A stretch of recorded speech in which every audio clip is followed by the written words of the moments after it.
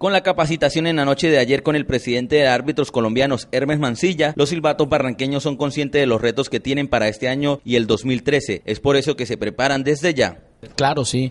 De hecho, pues eh, de antemano, pues yo que soy árbitro profesional y como instructor, para ponernos eh, en pie y seguir trabajando para este eventos que se aproximan, claro. Sí, aquí hay muy buenos árbitros, eh, empezando por el señor Leonardo Gil, Onay Pinzón, el, el, mismo profesor Luis Álvarez, son, tienen muy buen carácter, muy buena técnica y son correctos, son árbitros íntegros para mí.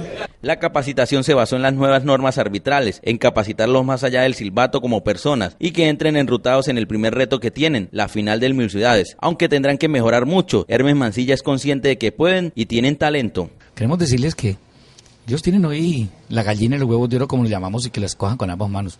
Son oportunidades eh, para ellos. La oportunidad se les dan a ellos con el trabajo eh, con calidad. Es más, lo han tenido a la medida de que de la corresponsabilidad que ellos han tenido se han sacado a nivel nacional. El caso de Armando Franco, él ha pitado en la Copa Postobón. Son más de 30 árbitros los que se preparan. Los retos de los silbatos barranqueños son Final Nacional de Fútbol de Salón, Copa Postobón de Microfútbol y el Mundial Femenino de esta disciplina deportiva. Los árbitros en la ciudad trabajan bajo la orientación de Luis Álvarez.